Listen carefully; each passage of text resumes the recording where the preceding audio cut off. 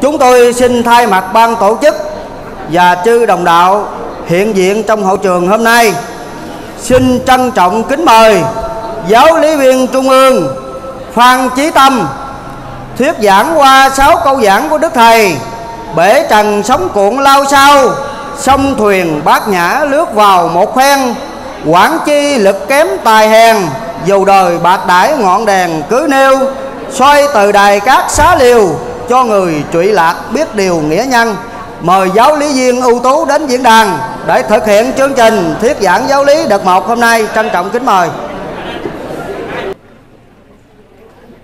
Nam mô Bổn sư Thích Ca Mâu Ni Phật.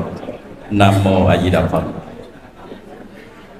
Kính thưa quý vị cao niên, kỹ trưởng trong đạo. Kính thưa quý vị quan khách cũng như quý vị đại diện cho ban công an xã Vinh Hậu đến tham dự.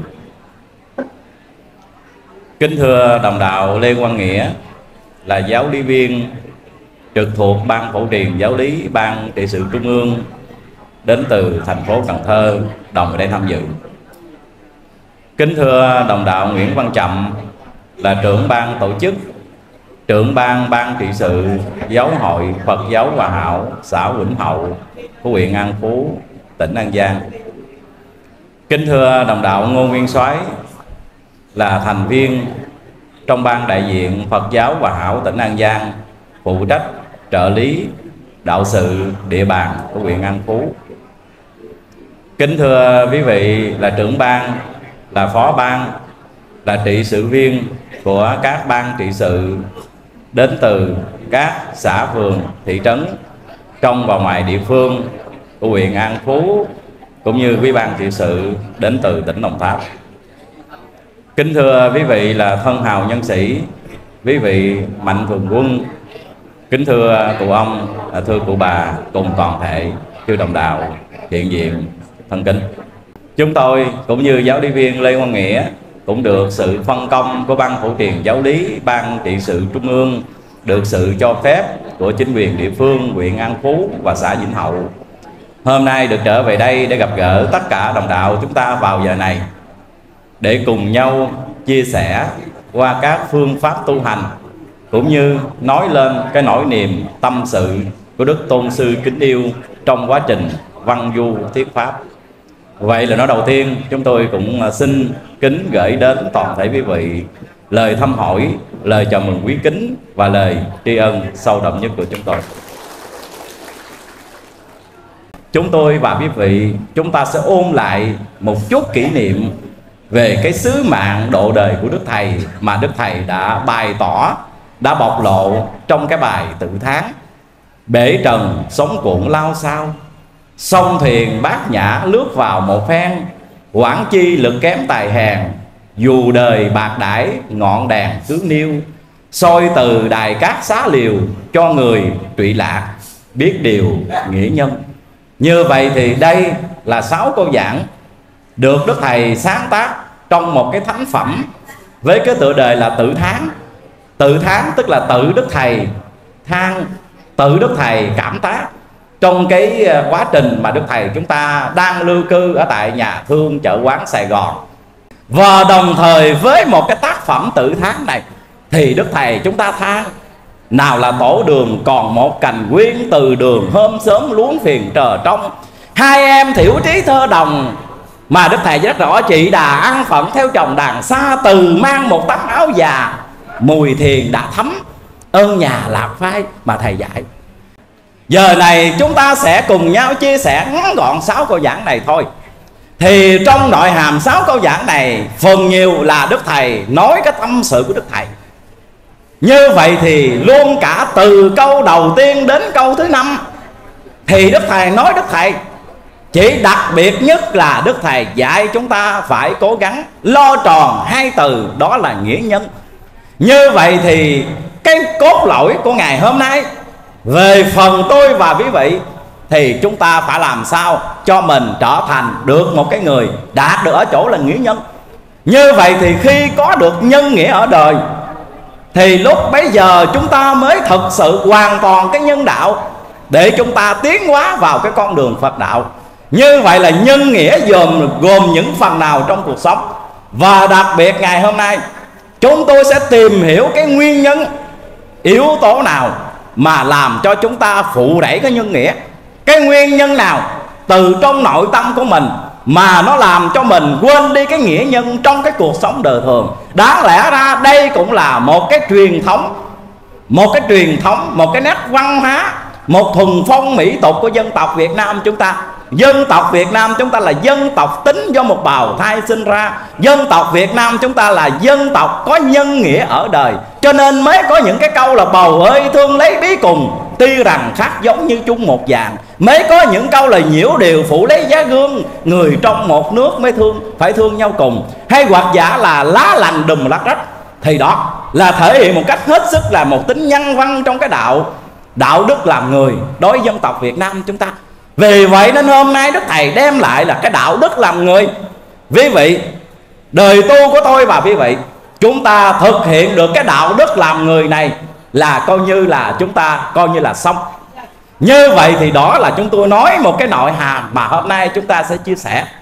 Như vậy thì cái thời gian có thể là chúng ta trình bày đây đến 9 giờ rưỡi. Rồi chúng ta nghỉ giải lao Thì sau đó quý vị còn nghe một giáo lý viên. Phải nói là cũng là một giáo lý viên giỏi trong đội ngũ giáo lý viên chúng tôi, tức là đồng đạo lê quang nghĩa. Như vậy thì câu giảng đầu tiên thầy dạy là bể trần sống cuộn lao sao khi mà chúng ta nghe nghe cái cái cái câu này là mình biết rồi. Mình biết đức thầy đang nói ở cái cuộc sống. Vậy thì bể trần tức là chỉ cho cái bể khổ trong cái cõi trần này. Nếu nói về từ ngữ, chúng ta đang ở đây là chúng ta đang ở trong cái bể khổ cho nên đức thầy mới dạy là phổ tế chúng sanh qua bể khổ, di đà miệng niệm lánh trần gian mà thầy dạy trong cái bài tỉnh bản trần gian. Hay hoặc là đây là một cái đức thầy đã dạy trong cái ờ, cái bài trong khi các trò còn ở trong biển mê sông khổ đó, trong cái bài lời khuyên môn đạo, đồng đạo.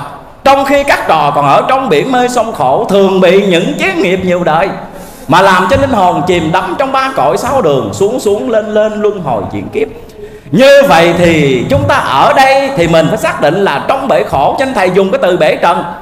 Bể trần là trong cái bể, trong cái cảnh trần chúng ta ở đây là bể khổ. Cho nên đức thầy mới xác định thêm là sống cuộn. Vậy thì bể khổ, rồi thêm sống cuộn. Sống cuộn là muôn ngàn cái lượng sống ba đào đức thầy ví cái cảnh sống của nhân loại đại đồng giống như một cái mặt nước biển khổ đồng độc và nếu nói về nước thì lúc nào cũng có sống phải không quý vị? Nhiều khi sống ít, nhiều khi sống nhiều. Và đặc biệt ở đây đức thầy dùng cái từ là sống cuộn thì à, chúng ta thấy cuộc sống chúng ta rất là khổ. Nhiều khi rồi những cái cơn sóng từ đâu nó ập đến, cá nhân chúng ta, ập đến gia đình chúng ta, mình thấy hết sức là rõ rệt. Rồi đức thầy dùng cái từ lao sao lao sao theo từ điển gọi là ào ạt. Lao sao theo từ điển gọi là ồn ào ào ạt thì cái từ lao sao đây thì nó cũng là nhiều. Giống như thầy dạy là thiên thị thiền, thiên hạ lao sao. Hay hoặc là lao sao ác thú muôn bày lớp bay, lớp chạy, sau này đa đoan. Như vậy thì nếu nói về ngữ văn, từ lao sao thì chỉ cho cái sự ao ạt nhộn nhịp. Mà đây là từ ngữ chỉ cho thường thường là cái tiêu cực. Cái tiêu cực, khi nói từ lao sao là cái điều này điều không tốt. Phải không? Mình chúng ta nói về cái ngữ cảnh của văn học á, khi dùng từ đó quý vị. Như vậy thì chính vì chính vì bể trần sống cuộn lao sao cho nên đức thầy chúng ta mới ra đời mở đạo. Chứ nếu như bể trần này không có sống cuộn lao sao thì đức thầy không ra đời ở đây đồng đạo à vì vậy cho nên cái gì cũng có hai mặt của nó. Ngày xưa cũng vậy chính vì xứ trung ấn độ các uh, giai cấp đang uh, phân phân biệt giai cấp đang phân hóa giai cấp giữa các giai cấp của xứ trung ấn độ cũng là con người mà lại phân biệt cái giai cấp trên là giai cấp bà la môn, rồi giai cấp sắc đế lị, giai cấp hệ xá, rồi giai cấp chiên đà la, hay gọi là thủ đà la. Nhất là cái giai cấp cuối cùng đồng đập. Giai cấp này là giai cấp, phải nói rõ là gần như là làm tôi tớ người ta cả đời này, sang đời kia, sang đời nọ. Rồi đồng thời tế nhị hơn là ở giai đoạn đó có một cái giai cấp gọi là người mọi rợ đó. Tức là giai cấp Madia đó. Thì giai cấp này là con người mà xã hội người ta không xem là con người. Xin lỗi mà nói, xin phép mà nói, lúc bây giờ tôi đọc sách, tôi thấy trong triết học ấn độ, quý vị, cái giai cấp Maria này, giai cấp này là con người mà xã hội coi giống như con vật cái đó. Nó tồi tệ như thế. Cho nên hảo nào đức phật mới ra đời, thì đó là những cái hình ảnh, những cái biểu tượng cho bể trần sống cuộn lao sao cho nên đức thích ca mâu ni, phật với một cái ờ, với một cái cái thị hiện của một vị bồ tát hộ minh với cái biểu tượng là voi sáo ngà, bạch tượng từ ở chốn không trung bỗng xa xuống mình bà hối hả? Mà đức thầy đã chuyển luận rất là rõ. Cho đây đức thầy chấp nhận cho nên chúng ta mới bàn vấn đề này. Như vậy thì trở lại xã hội việt nam chúng ta cũng thế. Sống trong một cái bối cảnh khổ. Cho nên à, quý vị còn nhớ, tức là nam hải đoàn như khê đó, thì một bài thi rất là dài. Chúng ta đọc cái đoạn đầu thì mình thấy rằng một vị thi nhân này cũng có một cái ý rất là tuyệt vời. Bể khổ, mênh mông, sống lúc trời. Khách trần chèo một chiếc thuyền rơi. Thuyền ai ngược gió, ai xuôi lo gió. Coi lại cùng trong bể thảm thôi. Coi lại cùng trong bể thảm thôi. Nổi chìm chìm nổi, biết bao người. Kiếp người nghĩ lại, lên đên quá. Như vậy thì ý nhà thơ muốn nói rằng cái kiếp người chúng ta nó giống như một cái cánh bèo.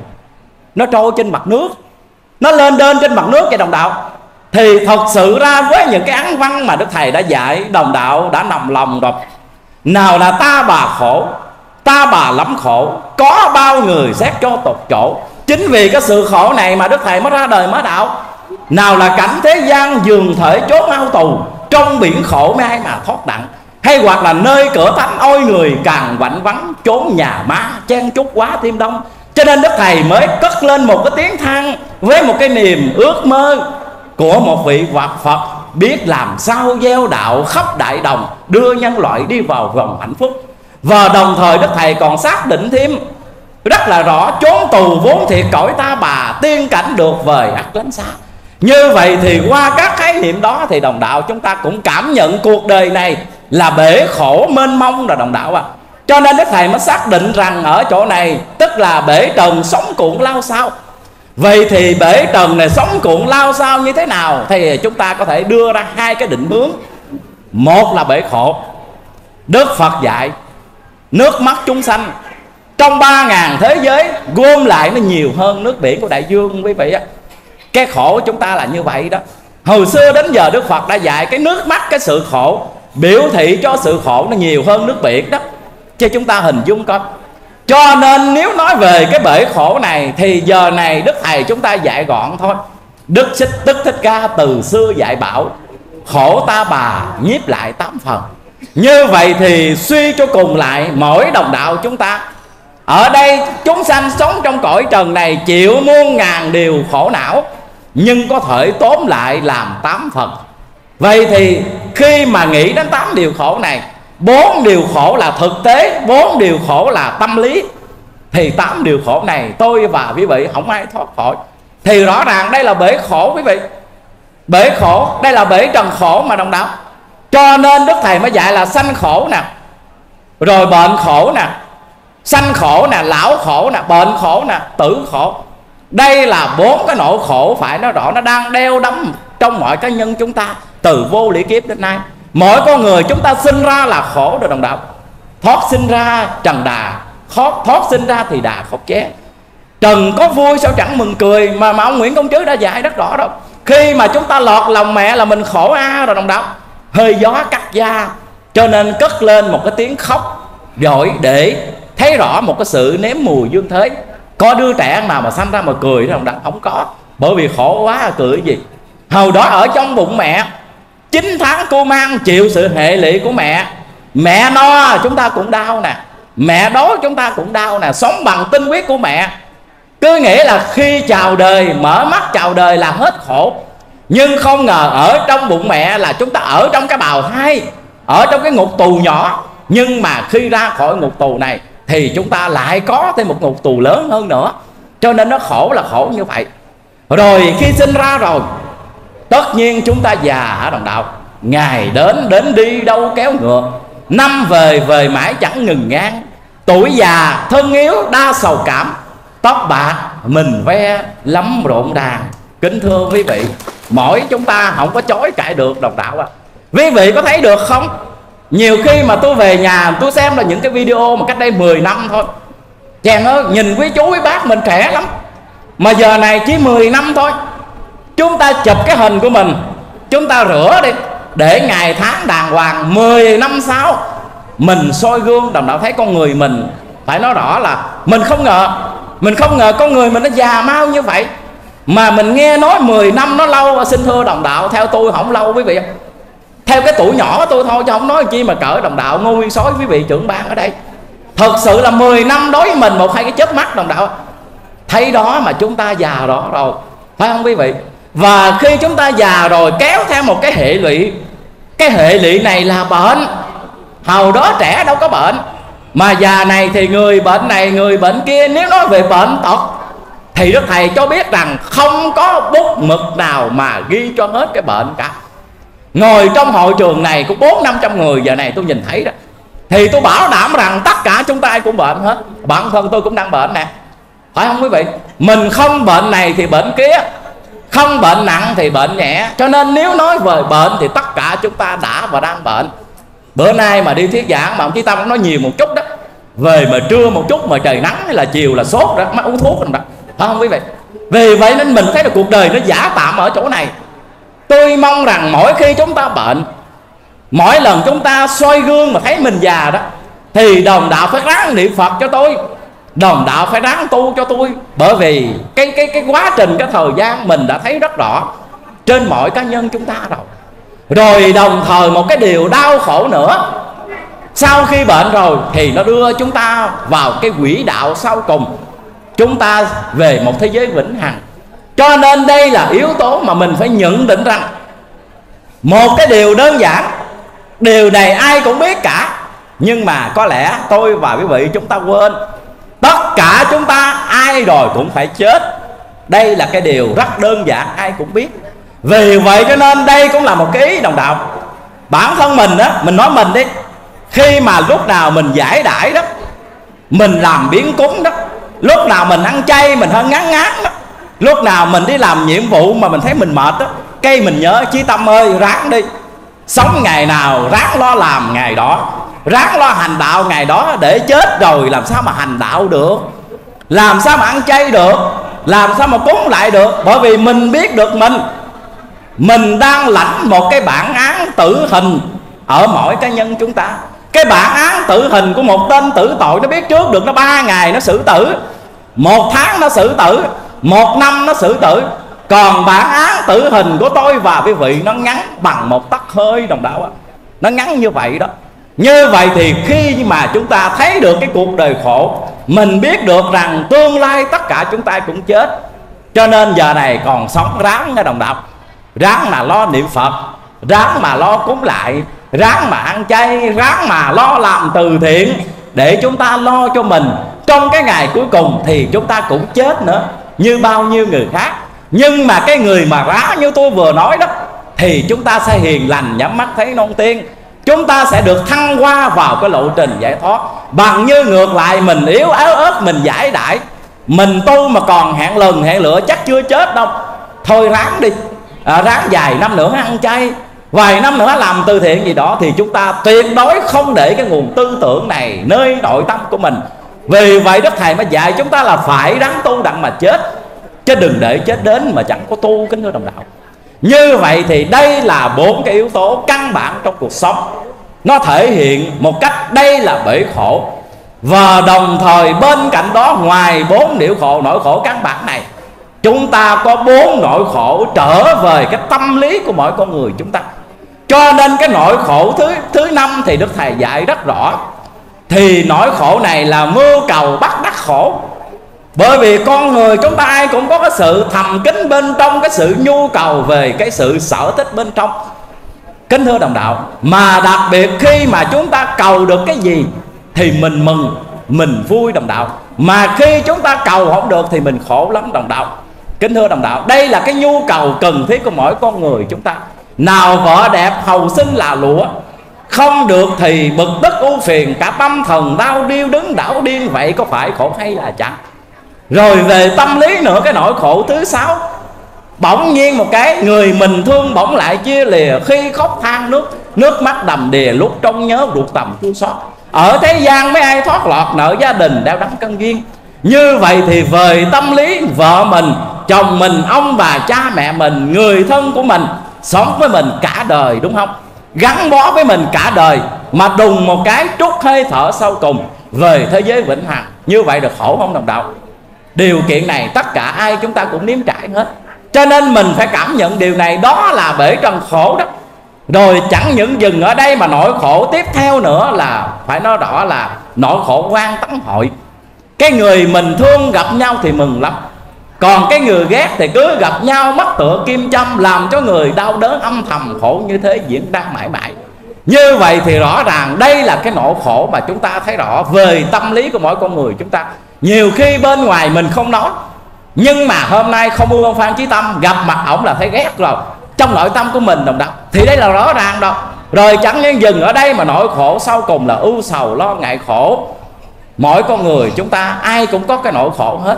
Vậy thì tám nỗi khổ này nó sẽ biểu hiện là bể trần khổ. Trên thầy mới ra đời mới đạo này, đồng đạo.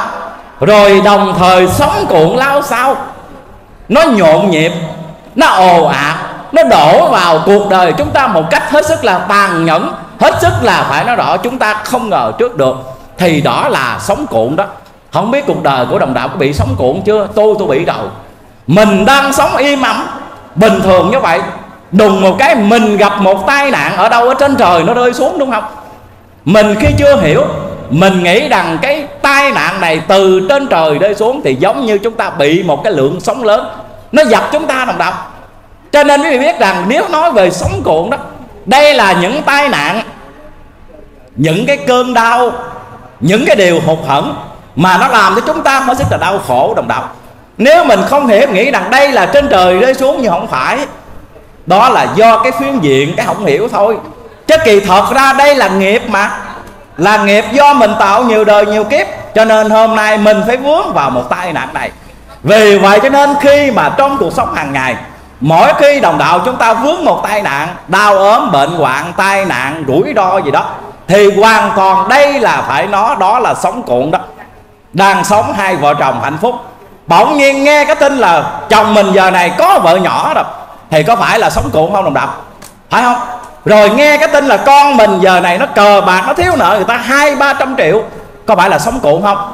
Tự nhiên nó dập mình một cái là muốn chìm thuyền đó mà nếu đồng đạo nào mà không vững dạ rồi chúng ta chìm ngắm liền đồng đạo. Chìm ngắm liền. Dầu rằng ăn chay năm nay hai chục năm. Mà nếu không bình tĩnh ứng xử cái sự kiện này là chúng ta chìm ngắm mà đồng đạo.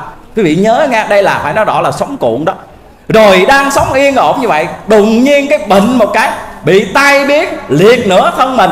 Có phải là sống cuộn lao sao không đồng đạo? Đó là như vậy thì những cái tình huống chúng ta đặt ra nãy giờ có không? Có cho nên họ nào thầy mới dạy là bể trần sống cuộn lao sao vì vậy cho nên chính vì đây là cái điều thực tế. Cho nên đức thầy mới xác định rất rõ, sông thiền bát, nhã lướt vào một phen qua câu thứ nhì. Vậy thì sông là đi vào, sông vào. Nhưng mà chỗ này thầy sông thiền á. Tại sao thầy sông thiền bởi vì chúng ta đang ở dưới nước. Chúng ta đang ở dưới nước, cho nên đức thầy sông thiền mà phải chi tôi vài vị đang ở trên bờ thì đức thầy không có sông thiền, mà lúc giờ đức thầy sông ngựa phải không, đồng đạo? Hoặc giả đức thầy đi bộ, mình nói một ví dụ như vậy. Đồng đạo thấy rõ không? Nếu mà cứu chúng sanh ở bờ mới thì đức phật chúng ta dùng phương tiện là thuyền. Còn nếu mà đánh giặc, thì đức thầy dùng phương tiện là ngựa. Như đức thầy dạy rất rõ là tước tuốt gươm vàng, lên ngựa sông pha, đền sông nợ nước thù nhà thuyền môn trở gót phật đà nam mô khi mà giết giặc thì đức thầy lên ngựa. Cho nên đức thầy dạy, còn khi đối diện với kẻ thù thì đức thầy dạy là tay súng, tay gươm sông trận địa, dầu cho giặc mạnh, há lòng nao. Kính thưa đồng đạo. Như vậy thì đây là tùy theo cái hoàn cảnh mà đức thầy chúng ta sử dụng mọi cái phương pháp. Vậy thì qua cái khái niệm là sông thiền thì đồng đạo biết rằng mình đang ở trên mặt nước cái mặt nước biển mà thầy dạy là mặt nước biển lô nhô lặng hợp chim đua bay cá lại tranh mồi ngọn thủy triều nô nức sụp sôi. Bầu trái đất một phen luân chuyển. Ta là kẻ tu hành thiện kiến như đức thầy đã dạy trong cái bài mang thơ cẩm tú. Cho nên chúng ta ở trên cái mặt nước biển cái đồng đạo. Mà mặt nước biển này lúc nó lên cao, lúc nó xuống thấp. Nhưng mà đồng đạo nhớ kỹ, chúng ta sẽ đến một cái ngày là ngày nào? Ngày mà thầy dạy là sau đến lúc sơn băng tuyệt thủy? Khùng thảm thương bá tánh quá chừng, nhìn xem trần nước mắt rưng rưng, cảnh áo não kể sao cho xiết. Ta dạy dỗ là vì tình thiệt cho bá gia rõ biết người khùng. Thấy dương trần làm dữ làm hung nên phiên nhủ cho người lương thiện. Rồi chữ lục tự trì tâm bắt viễn thì lập nguy có kẻ cứu mình. Mà đức thầy dạy rất là rõ rệt trong kệ dân của người khùng ở đồng đạo. Chúng tôi đọc ở đây, đồng đạo nằm lòng hết rồi. Như vậy thì mình phải nhận định. Qua đầu câu số 2 này, chúng ta phải nhận định là mình đang ở trên mặt nước biển, đồng đạo. Cho nên đức thầy mới sống thiền. Mà đặc biệt thiền đức thầy không phải là thiền bình thường. Mà thiền đức thầy gọi là thuyền bát nhã ta cầm tay lái đó. Quyết đưa người khỏi bến sông mê vì vậy thầy mới xác định là thuyền bát nhã, sông thuyền bát nhã lướt vào một phen trong toàn bộ sấm thi, đức thầy đức thầy viết thuyền bát nhã có 7 lần đồng đạo. Thuyền bát nhã chí tâm trực thẳng.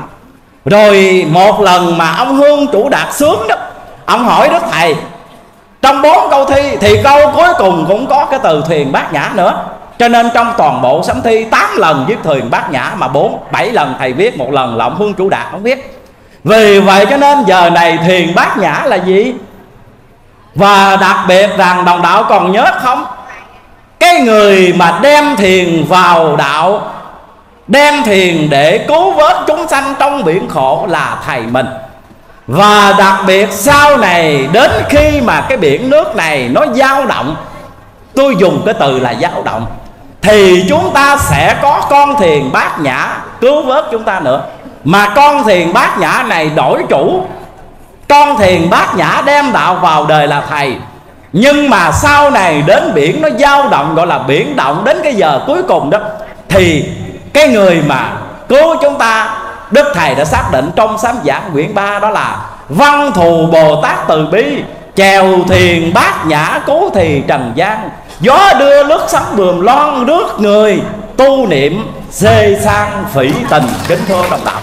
Như vậy thì chúng ta nhớ thuyền bát nhã này chỉ rước người tu niệm.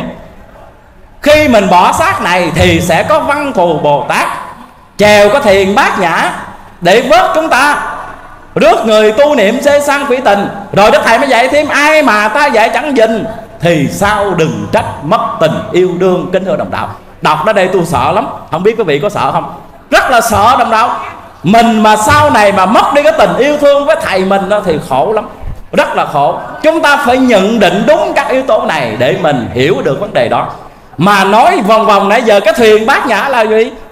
Cho nên nếu nói thuyền bát nhã thì chúng ta không lạ gì khi mà quý vị đọc ở trong tây du trong tây du có một bài thi nói về thuyền bát nhã. Cái thuyền bát nhã mà khi mà thầy trò đường tăng đó phải đi ngang một con sông lớn lúc bây giờ có cái cầu, nhưng mà thầy trò đường tăng duy nhất của tôn ngộ không đi được thôi.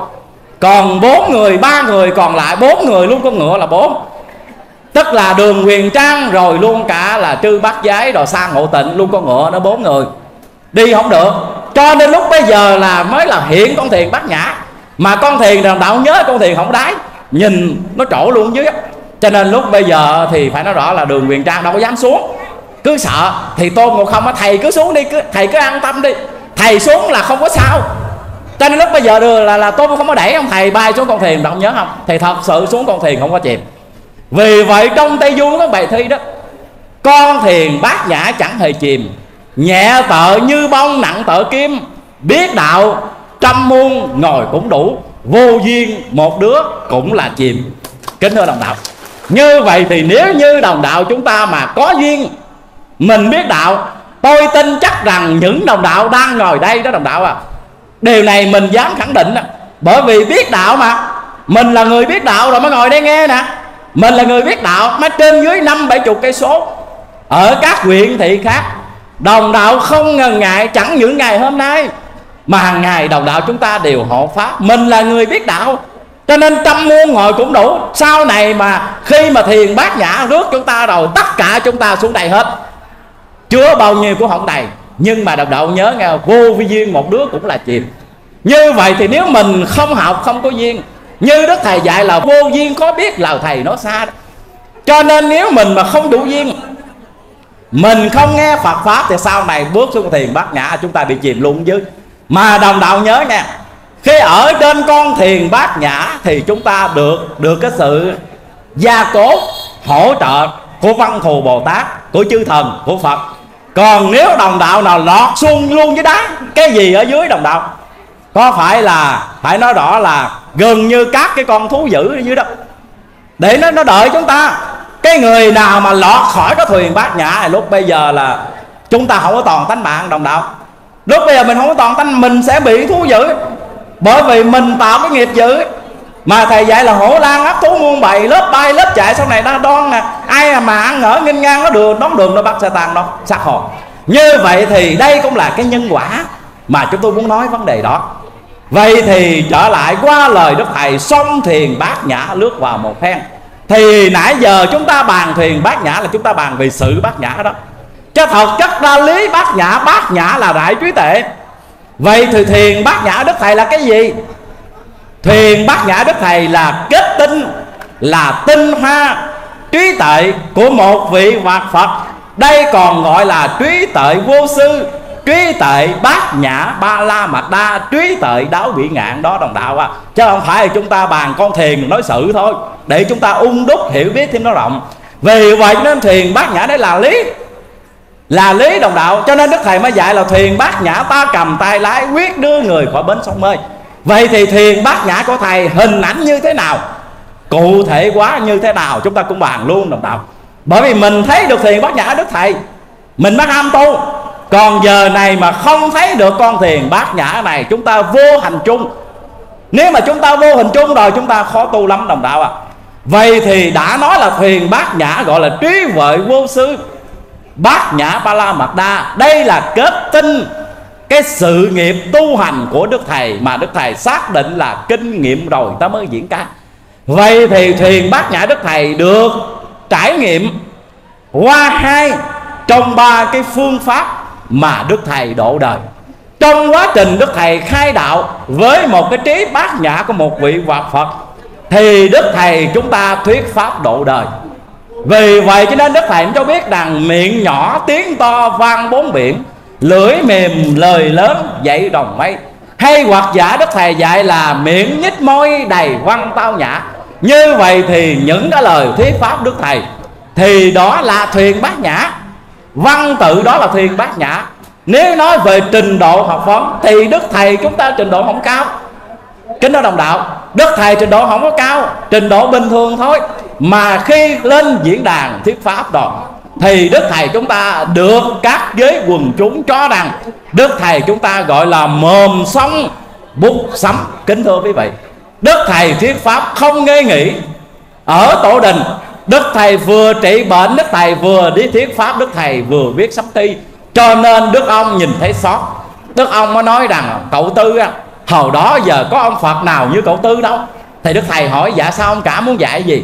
Thì đức ông nói, ông phật người ta sung sướng lắm còn phật này gì đâu mà bận rộn tối ngày. Nào là nói quá nhiều rồi. Rồi nào là lo trị bệnh, nào là sáng tác thi văn. Phật gì mà cực dữ vậy? Thì đức thầy nói, ông cả ơi, ông phật mà sung sướng như ông cả nói là ông phật tưởng, ông phật cốt.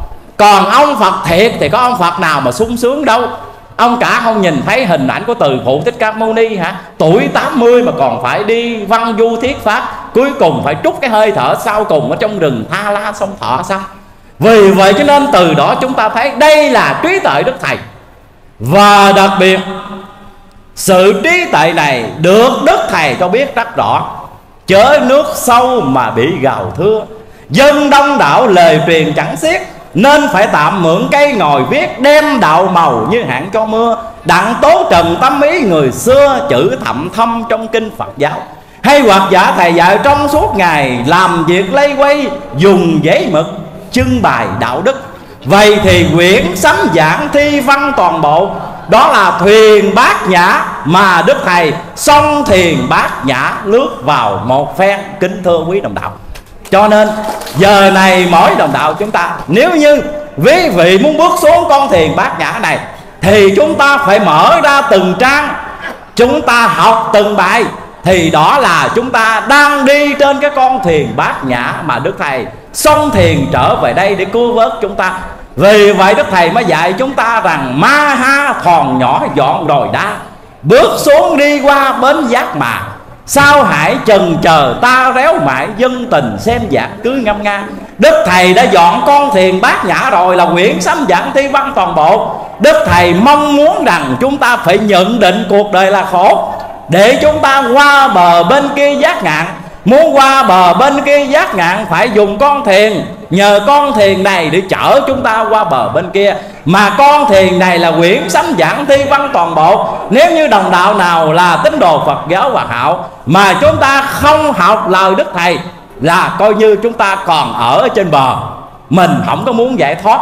Mình biết khổ, mà chúng ta không tránh khổ trong khi đức thầy dạy, trong buổi khổ, mau mau tránh khổ, ráng tầm vào đến chỗ an cư. Mới tới là học cao hỷ xã đại từ noi gương nghĩa sĩ dạ tư chớ gần, như đức thầy đã dạy. Như vậy thì giờ này, đồng đạo chúng ta phải nhận định cho đúng.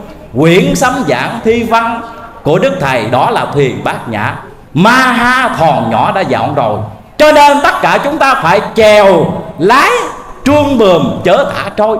Vậy thì thế nào là chèo lái?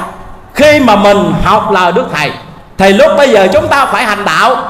Học trước hành đạo sau mới đắc nghe đồng đạo. Mà nếu đồng đạo không học mà chúng ta hành đạo là chúng ta không đắc đó. Tại sao không đắc? Bởi vì mình không học thì khi cái hành đạo của mình mình hành nó sai. Mà mình hành sai rồi thì ông phật không dắt mình ông thầy không dắt mình mà ma tà nó dắt mình, trong khi mình không có một cái nguồn tri thức. Vì vậy cho nên khi mà chúng ta xuống thiền bát nhã này, thầy dạy chúng ta phải chèo. Chèo là chúng ta làm từ thiện, chèo là chúng ta ăn chay, chèo là chúng ta cúng lại, chèo là chúng ta phải hành đạo là chèo. Rồi đồng thời nhớ là chèo phải lái nha. Chèo mà không lái đi lạc liền cái đồng đạo à. Thuyền phải có lái. Lái là gì? Lái là tám điều răng cấm là một cái bánh lái lớn đó giới lực của đạo. Đây là một cái bánh lái. Nếu đồng đạo chúng ta đi theo cái cái lề lỗi này là chúng ta không lạc. Mà nếu như đồng đạo nào có ăn chay, có niệm phật, có làm từ thiện là chúng ta đang chèo, đúng không? Mà đồng đạo không giữ giới luật, coi như chúng ta đi lạc liền. Lạc không đồng đạo? Lạc liền. Bởi vì mình không có kiềm lái. Trong khi thầy dạy chúng ta kiềm lái. Và bên cạnh đó thầy còn dạy là truông bùm nữa. Cha khó giữ nha phải không? Chèo không, lái không chưa đủ. Bởi vì chèo với lái nó đi lâu lắm. Đường đây về cõi phật nó xa. Đường đây đi Tây Phương, mười ngàn dặm xa thái. Con thuyền này từ bờ mê sang bến giác. Xin thưa đồng đạo phải là gần đâu. Vì vậy cho nên ngoài chèo lái đa Đức Thầy còn dạy chuông bùm. Chuông bùm để làm chi ở đồng đạo? Chuông bùm để nhờ gió nó thổi nhanh. Như vậy thì gió thổi nhanh là chúng ta cầu ở tha lực. Chèo lái là chúng ta tự lực. Coi rồi phải thân mình tự trị, chẳng độ xong Phật khó giác diệu thì đồng thời bên cạnh chèo lái ra, chúng ta phải cầu ở tha lực là mình trương bồm. Vậy thì trương bồm là gì? Đó là nam mô a di đà phật. Sáu chữ đi đứng nằm ngồi đáng niệm chớ quên không đợi gì thờ khắc. Đó là chuông bồm. Có chèo, có lái. Chuông bồm để nhờ sức gió nữa thì thuyền này nó mau lắm. Mau về bên kia bên giác lắm nhưng mà đồng đạo nhớ dùm tôi nghe, đức thầy dạy ba chữ là chớ thả trôi. Như vậy thì tu hành mà chúng ta thả trôi. Tu hành như thể thả trôi. Nay lỡ mai bò chẳng có thiền tâm là coi như thiền chúng ta đậu y bến cũ đồng đạo. Phải không, đồng đạo? Nếu mà thả trôi là thiền đậu y bến cũ, mà tôi thấy trong đạo mình giờ này đó, cũng có nhiều đồng đạo chúng ta đang thả trôi lắm. Mình đang thả trôi, nửa theo phe này, nửa theo phe kia, nửa hành đạo này nửa theo phe khác thì chúng ta đang thả cho lên trên giữa giữa dòng. Mà đồng đạo biết rằng cái hệ quả của một cái con thuyền mà lên đến giữa dòng, đồng đạo thấy nguy hiểm cho lắm. Gió hướng nào á, chúng ta theo hướng đó, đồng đạo. Trong đạo mình có không quý vị? Có gió hướng nào theo hướng đó không? Có. Đồng đạo chúng ta có một số một số vị nhẹ dạ một số vị dễ tin, một số vị tu theo thời cuộc một số vị tu theo dị đoan mê tín, đó gọi là gió hướng nào chúng ta theo hướng đó, kính thưa đồng đạo. Hay nước lớn chúng ta đi lên, nước lòng chúng ta đi xuống. Biết chừng nào chúng ta về bên kia giác ngộ, đồng đạo. Phải không? Như vậy thì biết quý vị đọc cái đoạn giảng này như tôi vừa trình bày. Đức thầy dạy rõ lắm, đồng đạo ơi. Đức thầy dạy rất là rõ, chỉ cần chúng ta nghiên cứu thực hiện theo, thì đó là mình mới thực hiện đúng lời đức thầy. Trong khi đức thầy xong thiền bát nhã lướt vào một phen, mà giờ này tôi và quý vị không có chịu xuống con thiền bát nhã của đức thầy. Thì bao nhiêu đó chúng ta thấy tội không? Tội nghiệp đức thầy quá. Cho nên đức thầy mới dạy rất rõ là nghe được lời khuyên tỉnh với nào đọc đọc đức thầy đã hăng hóa trở về đấy bao nhiêu tâm nạo cốt tôm dặn dò kỹ lưỡng trăm năm cấp cùng. Đức thầy đã cho biết rằng sao chẳng ngồi nơi ngôi vị hưởng quả bồ đề trường thọ mà còn len lỏi xuống hồng trần, đặng chịu cảnh chê khen cho nên chúng ta phải thương thầy. Nếu đồng đạo mình mà giờ này có con thiền bát nhã tại nhà mà chúng ta không có xuống con thiền này, thì tụ nghiệp đức thầy. Đức thầy từ bên kia trở về đây, bồng lai điên dạy có ngôi tây phương cực lạc, khùng ngồi tò sen để chi à? Để trở về đây, lòng thương lê tưới đáo ta bà, thừa chuyển pháp luân dựng phiến ca. Cảnh tỉnh người mới về cõi ngộ, Giải đăng kẻ tục phượt đấy hà. Thế mà hôm nay chúng ta không tiếp nhận, thì uổng lắm đồng đạo à. Thì đó là chúng tôi cũng nói một cái số ý để chúng ta hiểu được cái khái niệm thuyền bát nhã và cái vai trò trách nhiệm của chúng ta như thế nào đối với thầy tổ, đó gọi là sông thuyền bát nhã lướt vào một phen. Và đức thầy mới dạy thêm câu tiếp theo là quản chi lực kém tài hèn. Dầu đời bạc đãi ngọn đèn cứ nêu. Vậy thì qua cái câu này, Đức Thầy khiêm tốn. Mà thật sự là ông Phật, Thật sự là người đắc đạo, Thì người này là cái người khiêm cung. Cái người này là cái người, luôn luôn là cái người khiêm tốn trong đạo. Còn những người mà cũng là người tu, Mà người này chưa phải là đắc đạo, Người này chưa phải là thực sự là chứng được thánh quả, thì thường thường người này tỏ ra một cái thái độ gọi là ngã mạn lắm. Cho nên chúng ta thấy hai nhân vật, đức phật là cái người chứng đắc hoàn toàn. Đức phật luôn luôn khiêm cung nhã nhẫn trước đại chúng trước những cái từng phái.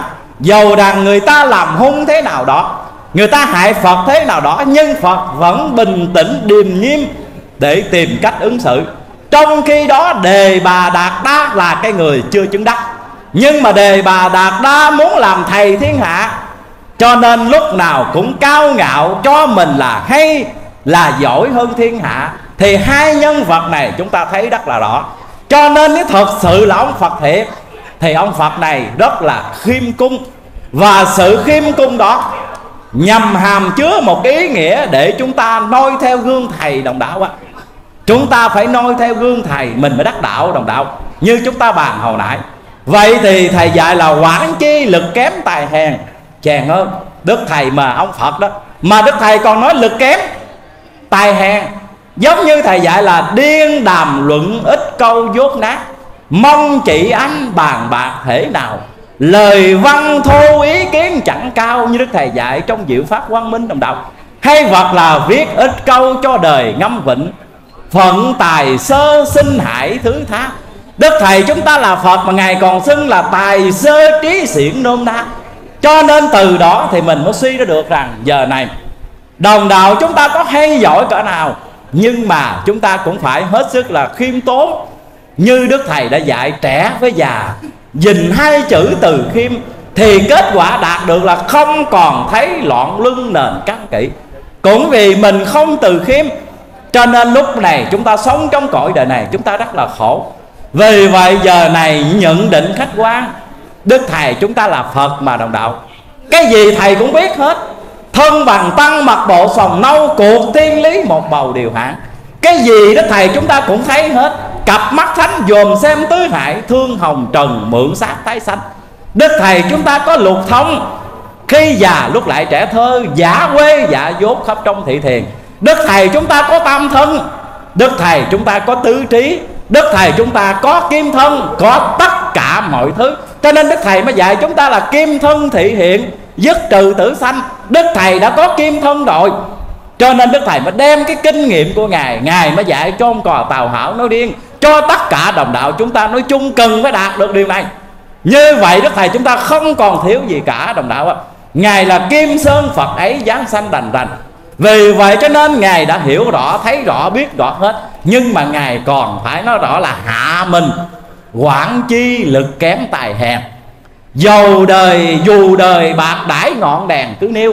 Vậy thì dù đời bạc đãi là đức thầy biết rằng trong cái hoàn cảnh đức thầy ra đời mở đạo thì đồng đạo biết rằng với xã hội việt nam chúng ta lúc bây giờ thì gần như luôn cả toàn cầu thế giới này đạo phật đang xuống dốc một cách một cách trầm trọng, đang tha hóa theo chuông mỏ, theo sám kinh, đang tha hóa theo theo những cái điều dị đoan mê tín rồi đạo thánh thì lúc bây giờ các cái vị nho thì lúc này không có còn đi đúng theo cái lời của khổng tử mà phần nhiều là thủ lợi cho mình.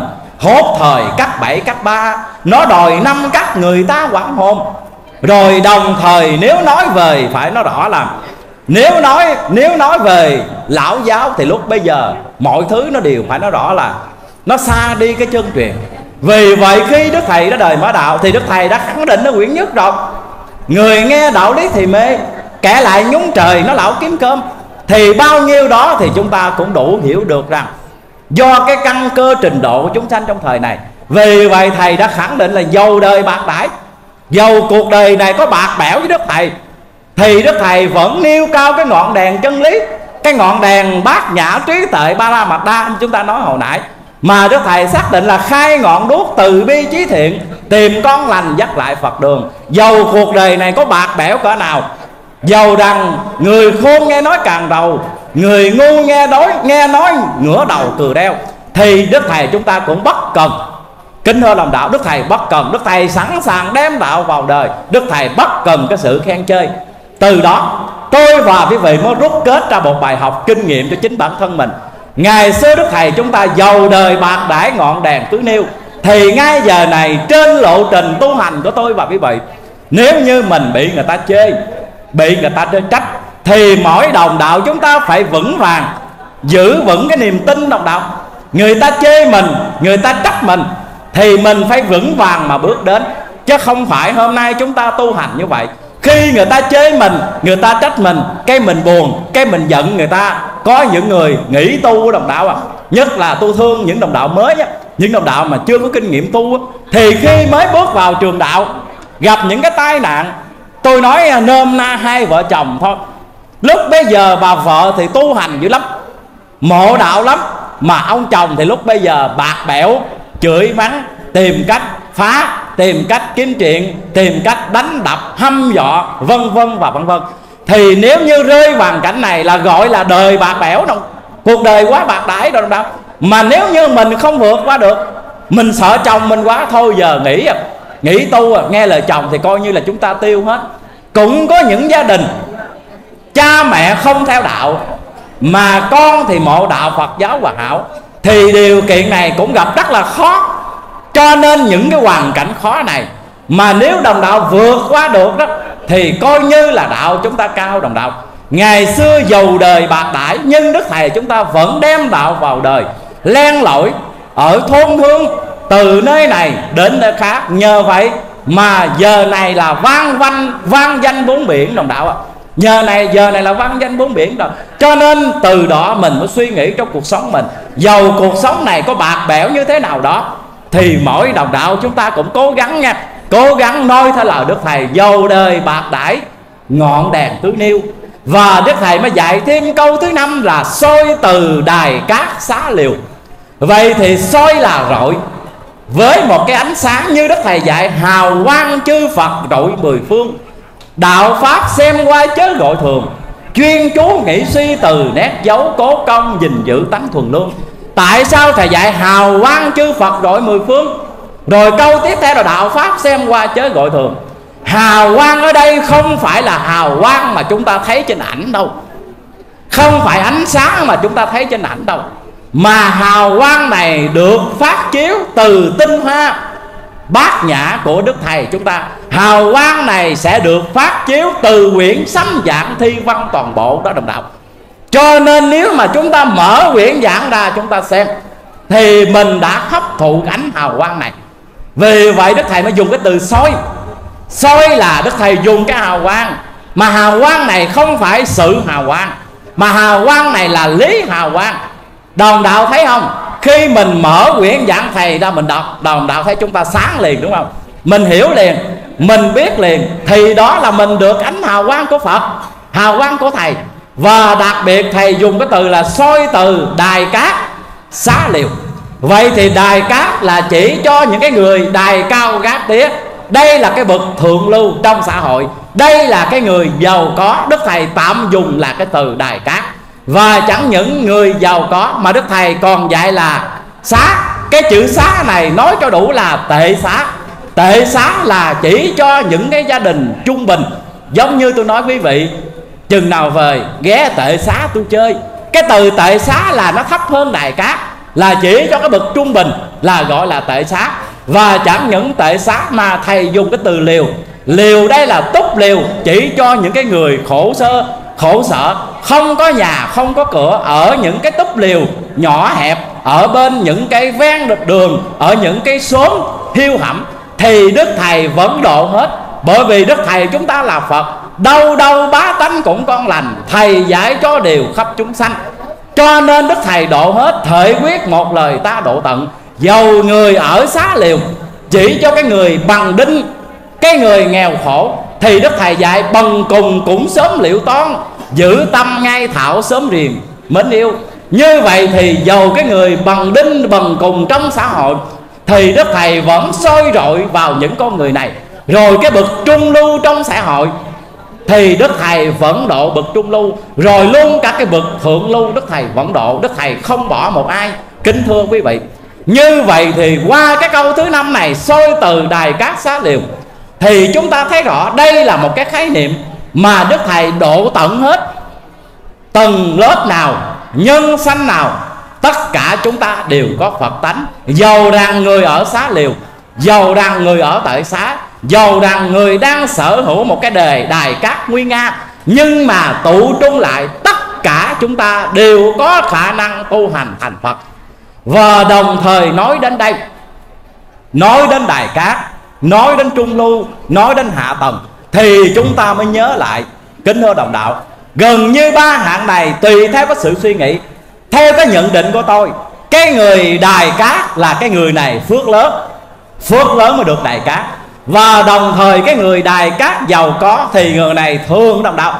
Hơi khó tu một chút, bởi vì sống trong danh lợi, tiền bạc nhiều quá cho nên lúc bây giờ muốn ăn chay như mình, muốn làm cái việc tu hành như mình, thì hầu như họ cũng ngại. Và đồng thời cái bậc trung đó, thì cái bậc này là phải nói rõ là dễ tu, dễ tiếp cận, dễ nhất. Còn đồng thời cái bậc hạ thì chúng ta biết rằng đây là những cái vị cái phước đức hơi kém. Người ta giàu có, người ta trung lưu, còn mình nghèo khổ như vậy, thì mình biết được rằng đó, cái phước mình nó kém. Cho nên cái bậc mà cái bậc gọi là xá đó, cái bậc mà liều đó ở tấp liều thì người, những vị này phải hiểu được rằng cái căn cơ của mình nó thấp, phước đức mình thấp. Giờ này mình ráng mà làm để gây tạo công đức đồng đạo. Giống như tôi cũng vậy. Hồi đó mà khi chưa học giáo lý viên, tôi là rơi vào cái chỗ liều nè. Nhà tôi nhỏ như một túp liều đồng đạo, chỉ được dăng cái mùng để một chiếc xe thôi, không có chỗ mà thờ phượng nữa. Nó khổ cái lắm. Nó nghèo đến đổi mà gần như là bằng đinh nè. Liều à thôi đi học giáo lý viên liều bây giờ còn gì nữa đâu mà mắc mà sợ. Nhưng mà không ngờ khi mà học đạo, đức thầy vẫn soi đội mình. Mình vẫn làm được cái việc hiện tại. Còn cái người giàu có thì chúng ta nên học tập gương của thái tử sĩ đạt ta mình vàng thái tử ngôi còn bỏ vóc ngọc đông cung tước phế liền. Rồi đồng thời từ đó chúng ta mới suy ra chẳng những đức phật, mà tiền kiếp đức thầy chúng ta cũng không phải là bực vừa đồng đạo. Tiền kiếp của thầy chúng ta là cũng là cái bậc tột bậc giàu sang. Cho nên thầy mới dạy trong quyển nhất đồng đạo hiểu rồi chúng ta nằm lòng rồi. Điên này chứ cũng như ai vào các ra đài tột bực vào sáng nghĩ suy danh lợi chẳng màng, bèn lên ẩn vật lâm sang tu trì. Mà nếu ngày xưa đức thầy chúng ta không bỏ đài cát xa qua thì làm gì đức thầy chúng ta giờ này đắc đạo trở về đây để độ mình? Cho nên vấn đề này tôi bàn một chút, để chúng ta hiểu rõ là soi từ đài cát xá liều. Thì đại để câu giảng thứ năm này, đức thầy muốn độ hết tất cả các tầng lớp nhân sanh trong cái quá trình đức thầy khai sáng đạo, chỉ cần trở và trở lại với viện giáo lý tình thương, với sự thánh thiện của đạo của thầy, thì đức thầy không bỏ rơi một ai cả.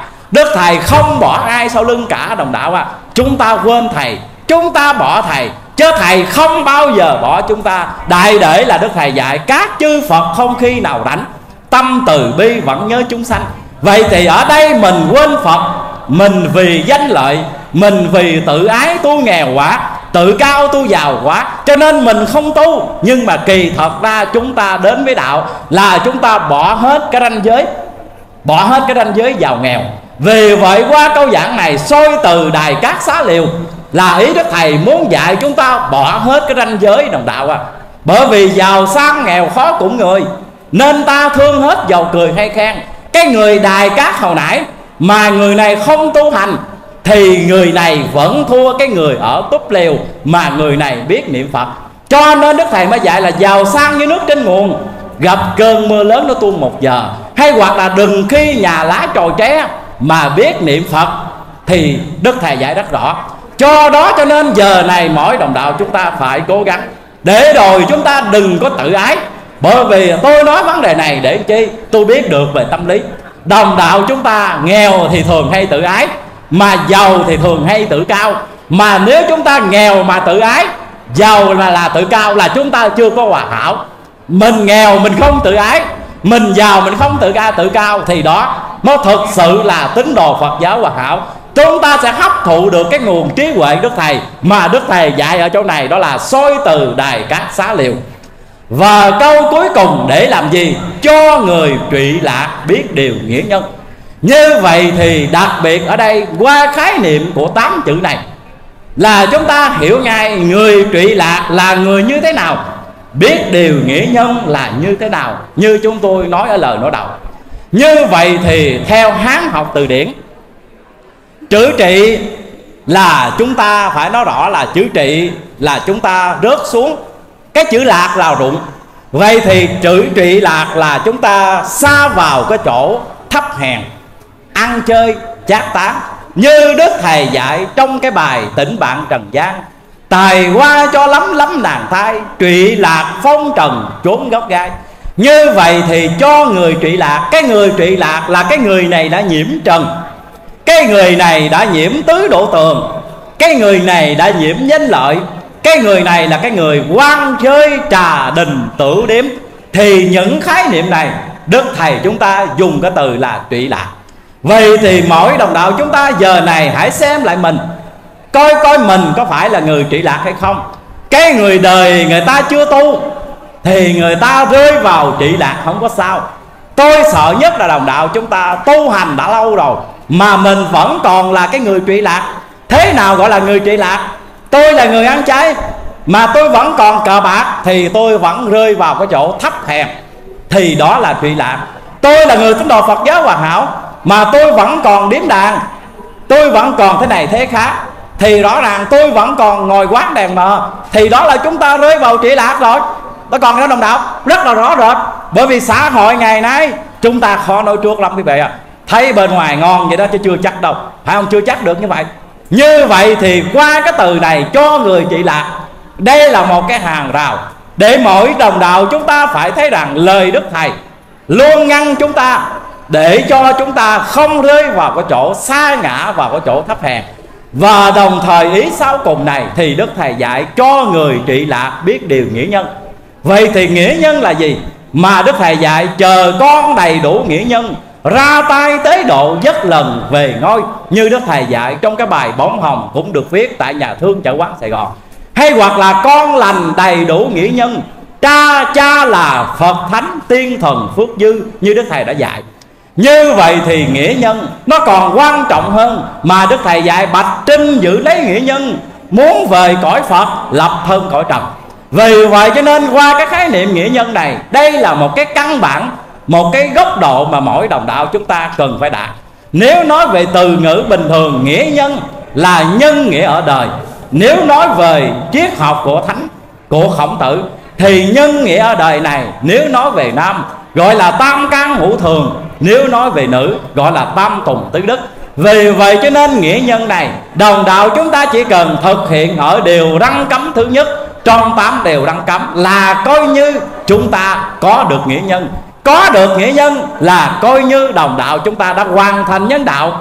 Mà hoàn thành nhân đạo, coi như chúng ta đã có được một cái nền tảng giống như cổ nhân dạy, dùng tu tiên đạo, tiên tu nhân đạo nhân đạo bắt tu, tiên đạo viễn hỷ. Muốn tu đạo tiên đạo phật, trước tiên phải tu đạo nhân. Nếu nhân đạo mà không tu thì đạo tiên đạo phật còn xa lắm vậy. Còn đức thầy chúng ta dạy một câu rất là dễ hiểu, đó là ráng tu nhân đạo cho tròn mới hay. Vậy thì ráng tu nhân đạo không ngoài nhân nghĩa ở đời, và đồng thời nhân nghĩa ở đời này. Chúng ta nói rộng một chút, nhân nghĩa nếu mà nói theo hình nhi học khổng tử, đây là hai đức. Trong ngũ đức, tức là nhân nghĩa lễ trí tính, thì ngũ đức này còn gọi là ngũ thường. Vì vậy cho nên ngũ đức này là mỗi đồng đạo chúng ta phải có ngũ thường, mỗi người phải có lòng nhân. Mà nếu có lòng nhân rồi thì đồng đạo chúng ta không sát sanh. Không sát sanh và chúng ta mở rộng lòng thương, chẳng những nếu thiệt người thì biết thương người, mà mình còn thương muôn loài vạn vật, thì đó là chúng ta có được phải nói rõ là lòng nhân. Rồi đồng thời nói đến nghĩa là chúng ta tuyệt đối không đạo tặc. Và đồng thời ngoài việc không đạo tặc, chúng ta sống ở đời phải có tình, có nghĩa. Cái nghĩa tình như tôi nói hồi nãy, đó là một miếng khi đói bằng một gói khi no. Giờ này mọi đồng đạo chúng ta đã làm rất tốt việc này. Mình làm cái công tác từ thiện xã hội. Mình đâu có phân biệt ông này là đạo nào. Cái người này là có tôn giáo, người kia là không có tôn giáo đâu. Chỉ cần người nào khổ thì tôi và quý vị sẵn sàng cứu vớt. Mình không phân biệt. Trong cái tư tưởng người tín đồ đạo Phật giáo hòa hảo chúng ta gọi là bất phân nhân với ngã. Mình không có phân biệt đồng đạo à. Vì vậy cho nên đó là chúng ta phải hiểu một góc độ theo hình nhi hạ học khổng tử ở ngũ đức, trong ngũ thường, nhân nghĩa lễ trí tính. Và đồng thời theo lời đức thầy dạy, đây là những điều mà mỗi đồng đạo chúng ta phải thực hiện nè nếu đồng đạo thực hiện được đoạn giảng này, coi như là đồng đạo chúng ta có được nhân nghĩa ở đời. Còn gọi là nghĩa nhân mà đức thầy dạy rất là rõ. Tức là trong cái bài không buồn ngủ, đức thầy cho biết rất rõ, kính thưa đồng đạo. Vì vậy cho nên đức thầy đã xác định để cho mỗi đồng đạo chúng ta phải cố gắng thực hiện. Để rồi mình giữ vẹn được một cái chữ đạo mà đức thầy dạy, đạo cha con chặt chẽ chữ miến trường đạo chồng vợ thuận hòa cho đến thác và trước đó thầy dạy rất rõ là đạo thầy trò khắc cốt với ghi xương cho nên hôm nay mỗi đồng đạo chúng ta phải thực hiện cái thứ nhất là mình phải giữ cái đạo với đất nước quý vị. Đây là một cái vấn đề mà chúng ta phải đền ơn đất nước. Ngày xưa đức phật dạy, đây là ân quốc vương đứng đầu trong tứ đại trọng ân.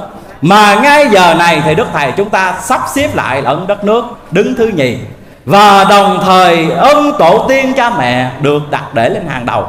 Cho nên nhân nghĩa ở đời, nói rộng lại, thì mỗi đồng đạo chúng ta phải thực hiện trọn vẹn tứ đại trọng ân mà đức thầy đã dạy.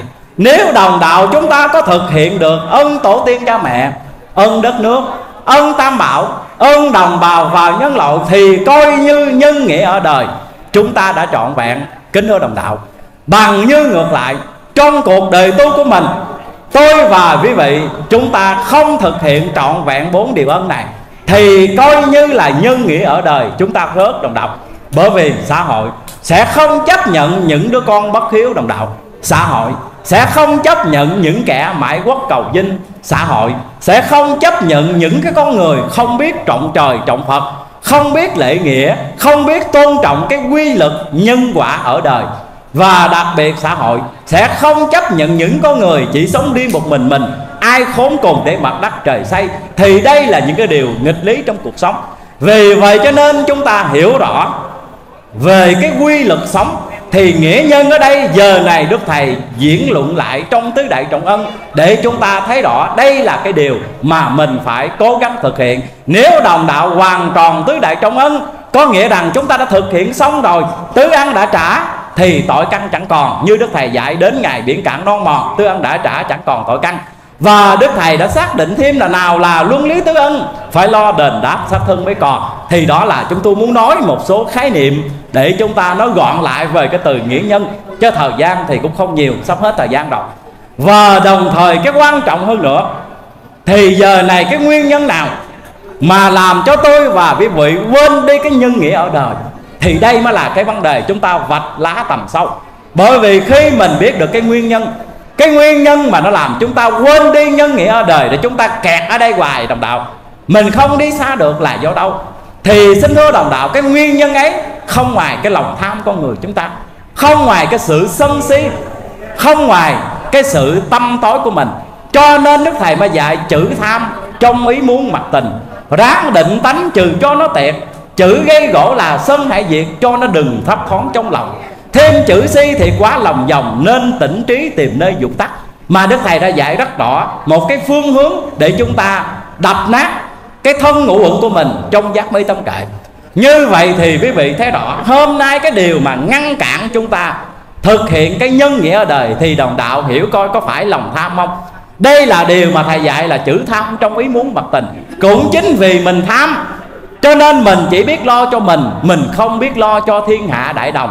Cho nên một con người mà có lòng tham thì tôi khẳng định rằng con người này không bao giờ mà đầy đủ nghĩa nhân đồng đạo. Bởi vì bản thân mình còn tham, thì làm sao nhân nghĩa ở đời mình trọn vẹn? Mình có lòng tham, không bao giờ chúng ta đền trả triệt để tứ đại trọng ân, kính thưa đồng đạo. Muốn đền trả triệt để chứ tứ đại trọng ân thì yếu tố quan trọng trở về nội tâm tôi và quý vị phải không tham. Mình phải không có lòng tham. Mình phải diệt trừ lòng tham. Mình phải nhận định cuộc đời là giả tạm. Hôm nay mình có tham cả nào đi chăng nữa, nhưng mà cuối cùng khi chết rồi, chúng ta có đem gì theo đồng đạo? Phải không quý vị? Cho nên suy nghĩ lại mình rất là dại dột. Bản thân mình cũng vậy, mình thấy bản thân mình rất là dại dột. Mình biết cuộc đời là giả tạm. Khi mình chết rồi, tất cả đều trả lại cho phải nói rõ là định luật. Tất cả mọi thứ chúng ta để lại nhưng mà duy nhất chúng ta chỉ còn đem theo những gì mình đã cho. Vì vậy cho nên để có được nhân nghĩa ở đời, tôi mong rằng tất cả đồng đạo chúng ta giờ này phải dập tắt cái lòng ham muốn nơi lòng của mình đồng đạo. Đôi khi người đời người ta tham không nói làm chi, mà nhiều khi anh em trong đạo chúng ta, rồi mình vẫn còn vi tới cái sự tham. Mà nếu người nào mà còn lòng tham, thì người này là những người cản trở đạo, làm cho đạo không phát triển. Cho nên đức thầy mà dạy nè kẻ nào háo danh, ham lợi là kẻ đó làm cho quen ngố nền đạo. Đức thầy đã khẳng định là kẻ nào háo danh hơn ham lại, ham lợi là kẻ làm cho quen ngố nền đạo. Vậy thì anh em đồng đạo chúng ta khi bước vào đạo, nhất là anh em trong ban trị sự, thì chúng ta phải dẹp bỏ cái lòng tham. Nếu mình còn tham, thì mình làm cho đạo mình tối đi. Mai mốt thầy dời chúng ta gánh không nổi như đồng đạo mình phải là cái người hiểu hơn ai hết. Thì đó là cái mối chốt đầu tiên mà nó làm cho chúng ta không có được nhân nghĩa ở đời. Và cái mối chốt thứ hai nữa là tánh sân. Kính thưa đồng đạo, chữ gây gỗ là sân hãy diệt. Như vậy thì rõ ràng có phải vì tánh nóng này không đồng đạo? Vì mình sân lên, khi mà quả diệm sơn nơi lòng chúng ta nó cháy, phừng phật phừng phật thì lúc bây giờ đồng đạo có còn thực hiện được nhân nghĩa ở đời không? Lúc bây giờ không có còn cái gì là nhân nghĩa mà chỉ biết nói cho thỏa mãn. Rồi đỏ mặt, rồi tím tay rồi hành động cho thỏa mãn cái sự tức giận của mình.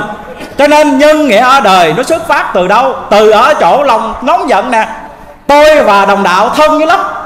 Tôi với anh hai đằng xóm màu đó giờ thân lắm. Anh em qua lại thương với nhau lắm. Nhưng mà chỉ một phút bất giác thôi. Tôi không nhịn được. Khi cháu nội của anh ăn hiếp, đánh cháu nội của tôi phải không? Tôi giận quá. Thì chính vì giận này mà mình đoạn tiệt biết bao nhiêu nghĩa tình. Cái nhân nghĩa hồi đó giờ mất tiêu đồng đạo. Do đâu? Phải do cái ngọn lửa sơn nó đốt không? Vì vậy cho nên giờ này muốn có nhân nghĩa ở đời, đồng đạo chúng ta phải lạnh như trì mới được đồng đạo. Mình phải lạnh như chị mình phải là cái người hết sức là mềm mỏng, hết sức là nhẫn nhục. Chúng ta đừng có nổi cáo. Mà chúng ta nổi cáo, nổi xăng thì coi chừng chúng ta đánh mất đi cái nhân nghĩa ở đời và cái thứ ba nữa, thêm chữ si thì quá lòng vòng. Nên tỉnh trí tìm nơi dục tắc như vậy thì đến cái thứ cuối cùng này, thì mỗi đồng đạo chúng ta phải sáng. Nếu đồng đạo chúng ta mà tối đó, thì nhân nghĩa ở đời chúng ta không có trọn vẹn, quý vị ơi.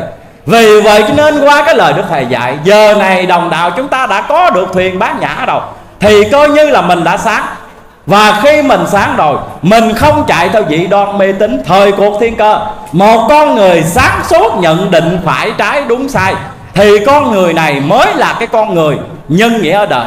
Bằng ngược lại, một cái con người không biết phân biệt phải trái, không biết thị phi, không biết đúng sai, luôn luôn nhẹ dạ dễ tin, nay tin người này, ngày mai tin người khác, nghe người kia linh nghiệm chạy theo, nghe người này linh nghiệm chạy theo, thì người này tôi khẳng định với quý vị người này không bao giờ có được một cái nhân nghĩa ở đời.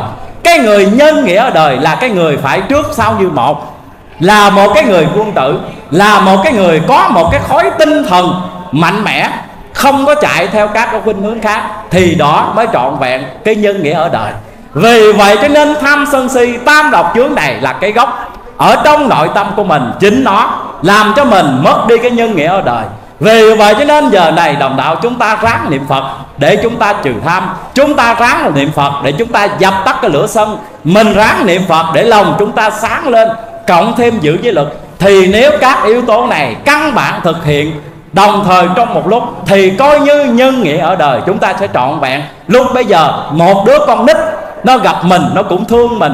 Rồi cái người già gặp mình, Người ta cũng cảm nể mình Bởi vì mình quá tốt đẹp rồi thì đó mới là cái sự cao cả nhất trong cái nhân nghĩa ở đời. Như ở đây đức thầy dạy, để cho tất cả đồng đạo chúng ta như tôi vừa nhắc, chờ con đầy đủ nghĩa nhân, ra tay tế độ dứt lần về ngôi. Thì đó mà thật sự là trọn vẹn cái nhân nghĩa ở đời như chúng tôi trình bày. Như vậy thì trở lại qua sáu câu giảng này bể trần sống cuộn lao sao. Sông thiền bát nhã lướt vào một phen Quảng chi lực kém tài hèn, Dầu đời bạc đãi ngọn đèn tứ niêu. Soi từ đài cát xá liều, Cho người trụy lạc biết điều nghĩa nhân. Vậy thì đại đệ sáu câu giảng này, Đức Thầy đang nói Đức Thầy. Với một cái bầu tâm sự mà Đức Thầy muốn than cho chúng ta Trong cái bài tự tháng Qua sáu câu giảng này, Với cách nhìn của một vị Phật Để mỗi đồng đạo chúng ta học tập được rằng, Cõi đời này là bởi khổ, Là sông mê. Cõi đời này là bể mê sông khổ cho nên mỗi đồng đạo chúng ta qua sáu câu giảng này mình phải nhận định được cuộc đời là khổ. Kính thưa đồng đạo, nếu mình không nhận định cuộc đời là bể mê sông khổ, thì chúng ta tu hành không có tiếng. Và đồng thời mình phải đặt trọn niềm tin nơi đức thầy. Dầu rằng cuộc đời là bể mê sông khổ, muốn lìa khỏi cuộc đời này phải có phương tiện. Phương tiện đó đức thầy đã đem sẵn cho chúng ta, đó là thuyền bát nhã. Thuyền bát nhã là quyển sấm giảng thi văn toàn bộ là phương tiện cho nên hôm nay muốn khó khổ, thì mỗi đồng đạo chúng ta phải bước xuống cái con thiền bát nhã này. Và đồng thời đồng thời đức thầy còn cho biết thêm, trong cái lộ trình tu hành của mình, mỗi đồng đạo chúng ta phải học tập theo gương đức thầy. Học cái gì? Cái thứ nhất là chúng ta học theo cái gương hạnh khiêm cung, từ tốn của đức thầy. Bước ra đường, hắn nói thật thà giàu khôn khéo cũng là giả dại. Cái thứ hai là chúng ta phải học tập chịu khó cái hoàn cảnh rất là khó khăn. Đức thầy vẫn đem đạo vào đời, vẫn thực hiện được cái quá trình, cái vai trò của một vị Phật Phật thì ngay giờ này chúng ta phải tập cái tánh nhẫn nại. Cuộc đời giàu khó cỡ nào, chữ tu phải đáng miệt mài, đừng kể vấn dài, đừng để mau lâu. Chúng ta phải học tập theo lời đức thầy để chúng ta cố gắng chịu đựng, chịu cay đắng của người sang sớm và cuối cùng, thì đức thầy đưa ra một cái định hướng. Đức thầy chúng ta với một vị Phật Phật đức thầy độ hết tất cả chúng sanh nếu chừng này nếu chừng nào khai thông đại đạo đốt từ bi đội khắp cả nhân gian, bể trầm lưng khô cạn sáu đàn tăng sĩ mới trở về thanh tịnh. Đức thầy chúng ta thời quyết một lời đa ta độ tận, hay hoặc là nếu thế gian còn trốn mê tân thì ta chẳng an vui cực lạc. Vì vậy cho nên đức thầy không phân biệt. Hôm nay tôi và quý vị học tập nơi thầy, chúng ta không được phân biệt. Đâu đâu bá tánh cũng con lành, thầy dạy cho điều khắp chúng sanh hay hoặc là nghèo giàu sang, nghèo khó cũng người. Ta nên thương hết dù cười hay khen. Thì mình phải học tập cái đức thầy. Chúng ta không có một cái ranh giới trong cái sự giàu sang, nghèo khổ. Khi tu đạo Phật giáo và hảo, tất cả chúng ta là người tín đồ. Cái người giàu hơn mình mình cũng không ai vua nịnh hót. Cái người nghèo hơn mình mình cũng không được quyền su phụng. Nếu mà chúng ta còn ai vua, chúng ta còn su phụng, còn phân biệt như vậy, là chúng ta phạm vào giấy cấm điều thứ nhì mà đức thầy dạy cho nên đó là bài học đích đáng trong đề tu chúng ta. Và cuối cùng, thì đức thầy cân nhắc lại tất cả đồng đạo chúng ta, mình đừng rơi vào cái chỗ thấp hèn. Bởi vì nếu như hôm nay chúng ta trụy lạc, mình rơi rụng vào cái chỗ thấp hèn, thì tương lai chúng ta sẽ sanh vào cõi thấp hèn. Vì vậy cho nên những người nào mà chưa rơi vào chỗ thấp hèn, thì coi như chúng ta tốt rồi, mình sẽ không vào sanh vào ba con đường ác. Còn những người nào rơi vào chỗ thấp hèn thì khi nghe lời đức thầy dạy ở đây, chúng ta phải quay đầu hướng thiện. Bởi vì ai mà xét biết ăn năn, quay đầu hướng thiện bằng tăng giác dùm. Còn mình không xét biết ăn năn, không quay đầu hướng thiện, thầy không dắt chúng ta. Bởi vì phật bất cứu vì tâm còn ác. Và cuối cùng đức thầy đưa ra một khái niệm là nghĩa nhân. Là nhân nghĩa ở đời. Đây là một cái thềm thang quan trọng, là một cái nền tảng căn bản trong giáo thuyết học phật tu nhân đức thầy vì vậy cho nên giàu ở hạng nào, giàu tu cao, giàu tu thấp. Nhưng mà nhân nghĩa ở đời chúng ta không trọn vẹn, thì coi như đời tu chúng ta không đạt kết quả. Tôi nói ví dụ, mình năm nay mình tu 50 năm, mình ăn chay 40 năm, chúng ta làm từ thiện nhiều dữ lắm. Mà nhân nghĩa ở đời chúng ta không có làm tròn, mình tu làm sao mà mọi người chung quanh mình ta không chấp nhận được. Người ta chế bai, ông này ông tu cho ông tệ lắm tệ cái này tệ cái kia tệ cái nọ. Thì đồng đạo hình dung coi, đời tu chúng ta được cái gì nè? Vì vậy cho nên mình phải nhận định đúng. Dầu rằng tôi đang niệm phật dầu rằng tôi đang tu lục độ vạn hạnh dầu rằng thiền tịnh. Nhưng mà nếu không có nhân nghĩa ở đời, thiền cũng đớt mà tịnh cũng đớt còn có được nhân nghĩa ở đời, chúng ta có được một cái mảnh đất vì nhiêu? Thì khi có mảnh đất phì nhiêu rồi? Thì chúng ta trồng cái gì lên đó? Chúng ta cũng đều hưởng lại cái hoa lợi của nó. Một người mà có nhân nghĩa đời rồi, người này làm từ thiện phước rất là cao, niệm phật phước vô lượng. Còn người mà không có nhân nghĩa đời rồi, thì người này làm từ thiện bao nhiêu? Thì lúc bây giờ, do cái sự bất nhân bất nghĩa của mình, nó bào mòn và nó ăn hết cái phước của mình, cuối cùng chúng ta cũng bị đọa lạc. Vì vậy cho nên qua lời dạy đức thầy, mong rằng tín đồ Phật giáo và Hảo nói chung, tất cả đồng đạo chúng ta nói điên thì giờ này mình phải hiểu được cái triết lý nhân sinh quan của đạo Phật giáo và Hảo chúng ta, đó là nhân nghĩa ở đời. Đồng đạo chúng ta nhân nghĩa làm đầu, nhân nghĩa ở đời chúng ta trọn vẹn. Coi như là tất cả đồng đạo chúng ta đã hoàn thành. Mà hoàn thành ở đây có nghĩa rằng tu đền, nợ thế cho rồi thì sao mới được đứng ngồi tòa xe kính thưa đồng đạo, thì đến đây chúng tôi cũng xin kết thúc. Thì à, trong cái quá trình chia sẻ, không sao tránh khỏi những sơ sót. Thì à, cũng ngưỡng mong quý đồng đạo chúng ta niệm tình, lượng thứ, bổ phí thêm. Và cuối cùng thì chúng tôi hết sức là tri ân ban tổ chức có lời mời. Thì hôm nay thật sự là thỏa mãn. Chứ cái ngày à, đại lễ rồi thì có về đây, nhưng mà do cái điều kiện thời gian không thỏa mãn, thì chúng tôi cũng có hứa lại sẽ trở về đây trình bày nhiều hơn. Thì thật sự khoảng thời gian vừa rồi trình bày đề tài này là bản thân mình rất là thỏa mãn, đã chia sẻ hết những gì mà mình muốn nói, ở tại ban thị xã Vĩnh Hậu, thì ngày hôm nay với sự gia hộ của thầy của thầy tổ, thì tôi đã làm tròn nhiệm vụ của mình. Hết sức là cảm ơn quý vị. Và chúng tôi kính cảm ơn tất cả các ban trị sự xa gần trong, ngoài địa phương ở các huyện thị và tỉnh Đồng Tháp về tham dự.